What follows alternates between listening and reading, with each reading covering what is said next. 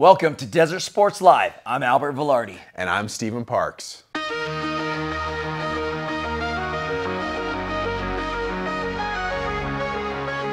it was the first round of the playoffs, so Albert's going to take us out to Los Lunas. Thanks, Stephen. It was a fantastic game. Probably one of the best this season.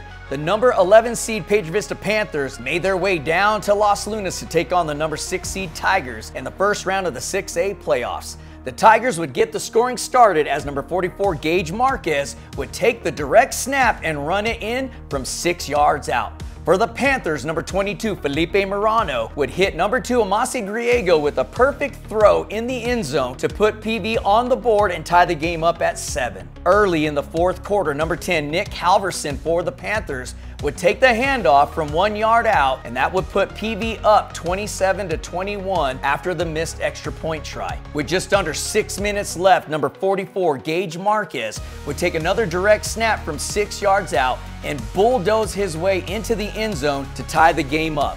Unfortunately for the Piedra Vista Panthers, they would fall short as the Los Lunas Tigers would go on to win and advanced into the state playoffs 28 to 27. In more football action, we're going to head out to Valencia High School to see who's going to take on the number one team in 4A, the Bloomfield Bobcats, with Stephen Parks. That's right. It was number eight Valencia and number nine Moriarty would face off last Friday to see who would take on the number one Bloomfield Bobcats tomorrow night.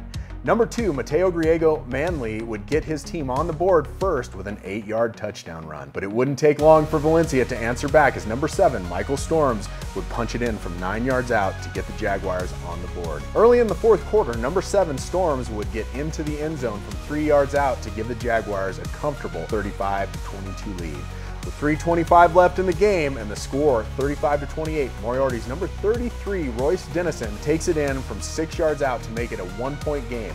Unfortunately, the Pintos would fall short on the two point conversion attempt as the number 8 Valencia Jaguars would come away with the 35-34 win and will head to Bloomfield tomorrow night in a quarterfinal matchup against the number 1 Bobcats. And here's Albert to close us out on the volleyball season. Thank you, Stephen. It was Selection Sunday, and unfortunately, none of our area teams would advance into the state playoffs. So with soccer and volleyball officially over, that means basketball and wrestling season will be starting up soon.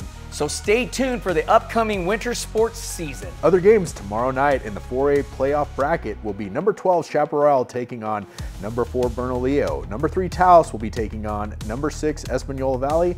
And number 7 Grants will be at number 2 St. Pius.